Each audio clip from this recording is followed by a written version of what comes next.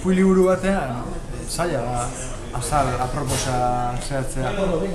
aukeratzea, ez? Novela batean, ba, etik errazagoa, ze giro bat dauka novelak edo hildo bat, edo orduan saiatzen zea giro horrekin bat datorren azal bat jartzen, baina ipuin liburu batean, ez, claro, ipuinak hain desberdinak izanik, zer azal jarri behar dugu, ez? Orduan, bueno, nahi gendun azteko azal deigarri bat izatea,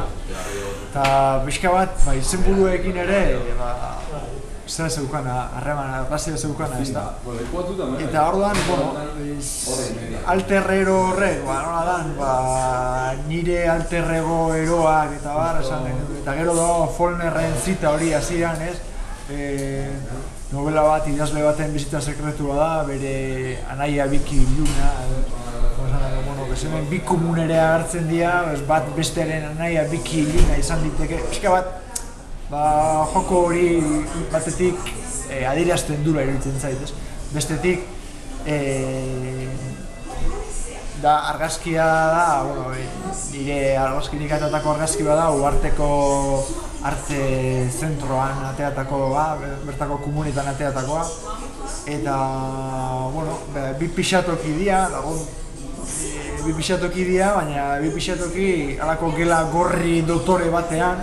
eta berez hola da, komun hori hola da, orduan, ba, atentzioa dituzian, ba, hain komun dotorea, ba, zehatzea ez, eta lehenengo ipuinean, ba, ipaz ipuinean, badago pertsonaia bat, ba, protagonistaren aita edo, esaten duna, ba, jatetxe bat aukeratu baino lehen, jontzaite lehen da bizi komunetan, ze komuna zikina badaude nola egon gotea, nola egon gotea zukaldia, ez? Ordan, ba, nik esan, bueno, ba, nire artean, liburu ez dakit, ono, txarra izango da, baina gaitzan komun dotoriak izan ditzala azalian, ez da? Hori izan zen, beste arrazoi bat komunak, e, komun dotore horiek e, jartzeko. Eta gero azkenik gertatu zen, ba, pixka bat zoriz, ez, ez behintzat nahita, ba, aurkezpen aurriak iruan egin bergen du, baina urra palatik itortzeko zen, eta berak ezin zun, eta orduan atzeatu gendun azken aurria bira. Eta hain itzan, e, egun horietan ikusi nuen emak bakia baita pelikula, eta hor da Man Rai eta Marcel Duchamp, eta bueno, pixka bat informazio biltzen izala Wikipedian, bapatian, ikusten un Marcel Duchamp hiltzala,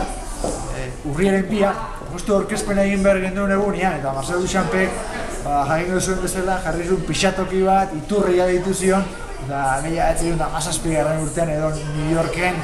aurkeztu zuen erakusketa batean, ba, unartuz pasuten ere gerora, ze horrek ba, artea irauli du, nola izateko, ez? Ordan ba,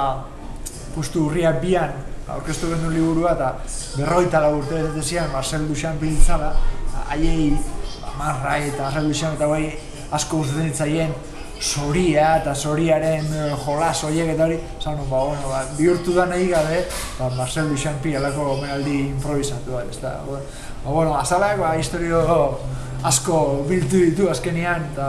posik nago, geratu den bezala, geratu alako.